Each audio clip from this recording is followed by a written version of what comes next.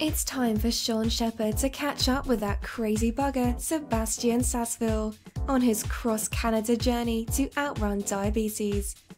Find out where Sebastien is now and hear all about his crazy adventures, all right here on the Diabetes Champions Network.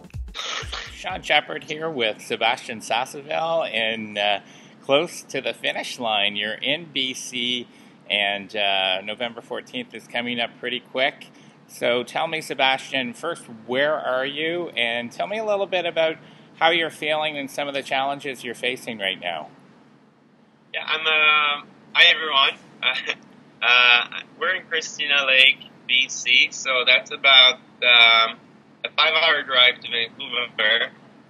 If I was drive, uh, can't do that. So I've got about 575 kilometers left, and it's uh, and it's really hard. Um, the Rockies are definitely. We knew it was going to be the toughest part of the the run. Um, I went over a few pretty big mountain passes, so it, it's really hard on my legs. It's really tough to recover. Um, it's been a little cooler, so I got a bit of a cold, and just the exhaustion from running all day, and you just can't shake that cold uh, away, and I can tell like as soon as we take one day off, uh, I, I the cold is getting a tiny bit better, and then it, uh, uh, so yeah, it, it's um, the toughest uh, segment of uh, the whole run, the toughest few weeks uh, of uh, the whole uh, run Canada. I think from O. Uh, once we get to in BC, it's going to be flat to the finish. So we've got about another uh, 300 kilometers of this. Um, weeks, and uh, then we uh, will be home.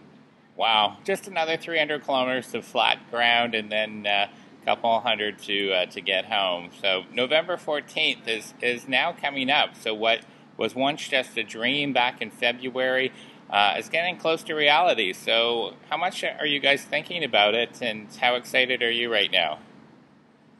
A lot. We're thinking about it a lot. The whole year we didn't think about it, and it was just you know, strategy for survival. Um, and now we're counting days. We're putting X's in the, on the calendar every morning.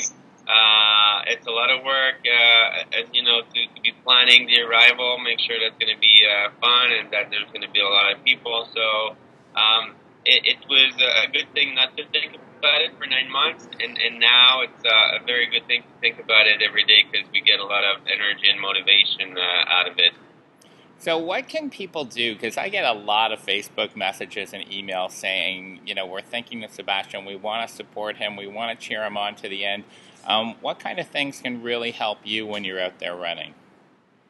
Um, everything else, and, and we love seeing the support, and, and you know, whatever people can do uh, is always good, even if it's just a little bit. That that's huge. So, um, you know, if, if, if people sharing things on social media. Um, yesterday we started to use uh, use uh, hashtag uh, GoSebGo. Um, so we're, we're hoping that that's going to go uh, a little viral. So that that's a good one.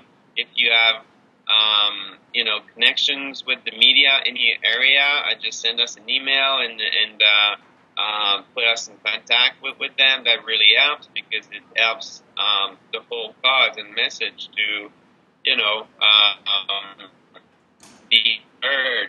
Um, share our website. Um, if you feel like you can support financially, that's a good thing too. We love food. I've, I've said that often. Uh, but just um, it, it's eight eight thirty here. I got up about an hour ago, and I started the day with uh, reading the comments on on uh, the latest uh, post, uh, mm-hmm. Facebook post, and there was thirty new messages and and I can't think of a better way to start the day. So every little thing counts.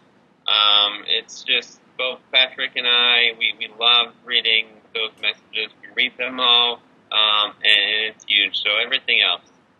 Great. And the last thing, I know that you've said this many times right from the beginning that you wanted to share this with everybody. Um, and on November 14th, you know, I know a lot of people like to be there, but you just, you know, life gets in the way of getting out to Vancouver. And, and we've got an exciting announcement that uh, Seb is going to announce uh, early next week about how everybody can share, no matter where you are in the world, um, that special day with you. So, do you want to tease them a little bit about that announcement? Well, I'd like to. I, I don't want to say too much. what, what, can I say?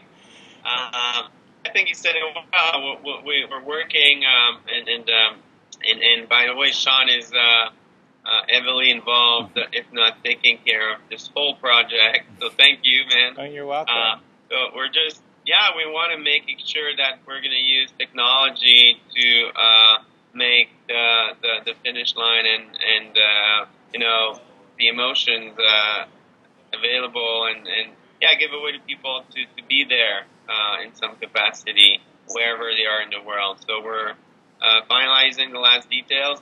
You are again, and uh, and thank you.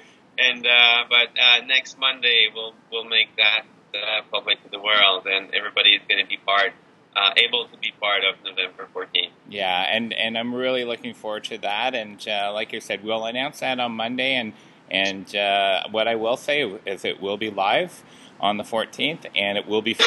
Um, so those are two important things. But I'll let you get some rest. I know this is a rest day for you, and and we're cheering uh, cheering you on. And uh, and uh, we'll talk later this week so we can make this announcement public on Monday.